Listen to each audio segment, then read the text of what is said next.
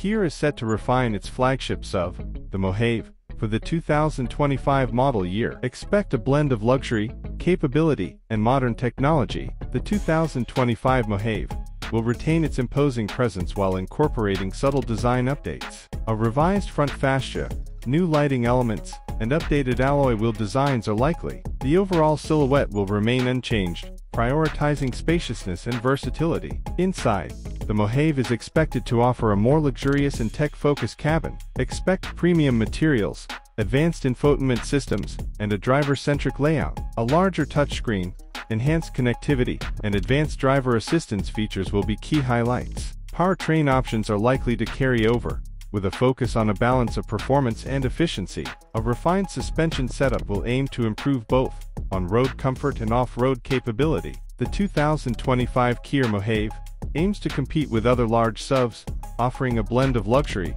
capability, and value. It will appeal to families and outdoor enthusiasts alike. Expect the 2025 Kia Mohave to arrive in dealerships towards the end of 2024 or early 2025. Pricing details have not been officially released, but it is expected to be competitively priced within the segment. With the 2025 Mohave, Kia aims to solidify its position in the large sub-market, offering a compelling alternative to established rivals.